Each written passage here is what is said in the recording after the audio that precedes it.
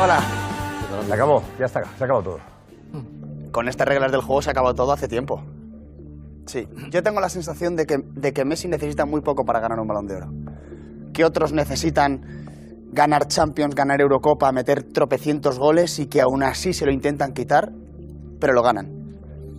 Y Messi necesita muy poco para ganar eh, el balón de oro. Messi es el niño bueno, el que cae bien, el que y más votando periodistas. Al final tiene una etiqueta que es difícil quitarla y Messi cae bien, cae bien y, y es, y es fácil darle los balones de oro. Yo creo que es el tercer balón de oro que no merece Messi. Y te lo digo de corazón. Porque cuando defendíamos que a Xavi y a Iniesta por ganar el Mundial merecían el balón de oro, por esa regla de tres, Jorginho merece un balón de oro. Porque ha ganado Champions siendo la mano derecha de Tuchel y Eurocopa siendo el pilar del centro del campo de Italia. Y aquí ni se habla. Dime un solo jugador que haya ganado la Copa América, uno solo, y luego se le haya un balón de oro un solo jugador que haya ganado el balón de oro justificándole con la Copa América. El primero Messi. Tenían que excusarse de esa manera. Es Messi, ya está.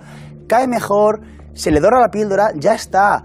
Ha ganado la batalla según vuestra regla de juego y la que hay, por supuesto. Ahora bien, quiero verlo cuando voten los periodistas, o sea, cuando voten periodistas, ciudadanos, capitanes de selecciones y seleccionadores. Debes. La gente de fútbol. Ahí quiero ver si gana Messi, o gana Lewandowski, o gana Jorginho, porque estamos de acuerdo que Messi es una broma decir que es el mejor del mundo en el último año. Es una broma. Lleva un gol en liga en los últimos seis meses.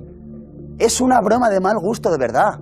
Ni voy a meter a Cristiano, no entra en la ecuación. Pero Lewandowski, pero Jorginho, ¿de verdad? Es que estabais defendiendo a Xavi y Iniesta y os tenéis que comer los argumentos ahora para dárselos a Messi.